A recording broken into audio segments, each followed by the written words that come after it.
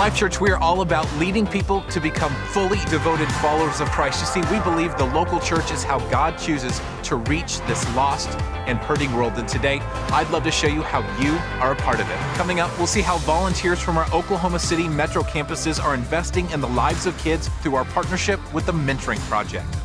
Then we'll look back at the celebration of our 20 year anniversary as a church. And finally, you'll see how John Abakah's assumptions about church were shattered when he walked through the doors of Life Church, Oklahoma City. We've got all that and so much more coming up. Our investment in our local communities is rooted in partnership with over 30 Christ centered organizations committed to long term restoration. And I had a chance to catch up with one of those organizations, the Mentoring Project, and how they are rewriting the fatherless story. Can you tell us what is the Mentoring Project all about?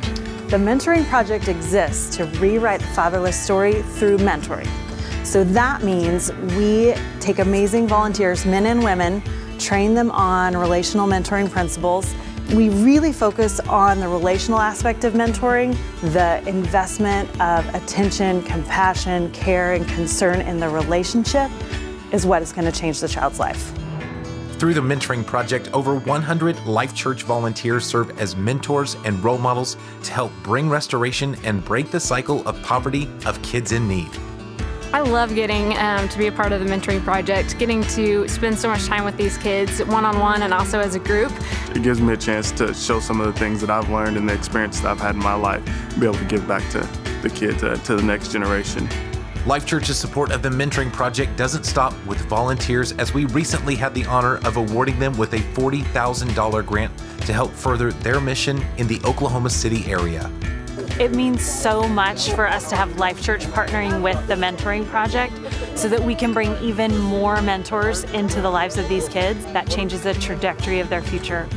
If you'd like to volunteer with one of our local partners, just connect with your campus staff and learn how you can be a part of the change happening in your community. January 2016 marked our 20th anniversary as a church, and it was an amazing celebration. Take a look and we are not spiritual consumers. We are spiritual contributors. In a world where many people are skeptical about the church, what you need to know is everyone is welcome here. Everyone. Because my goal is not to change people, but to introduce them to the Jesus who changes them.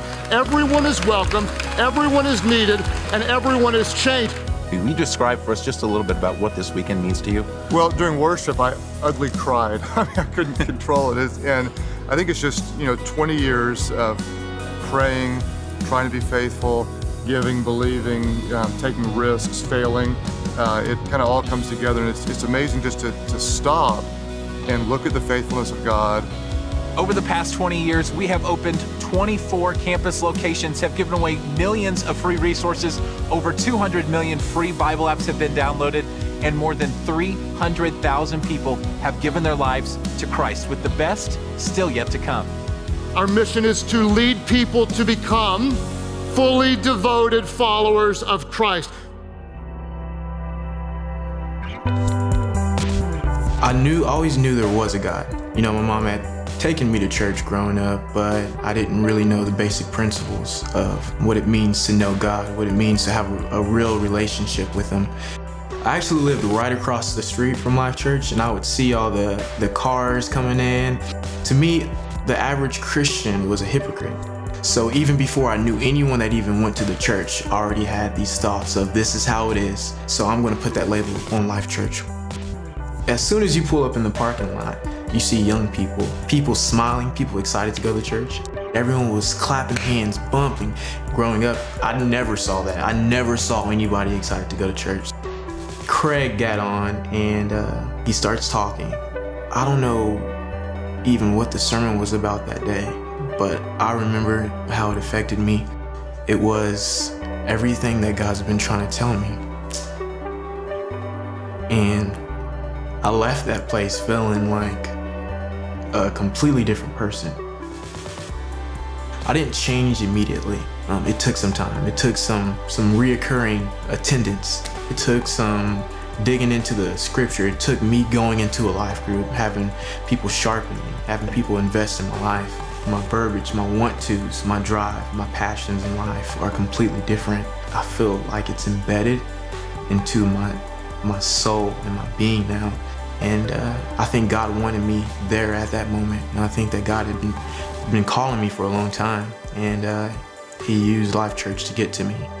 And uh,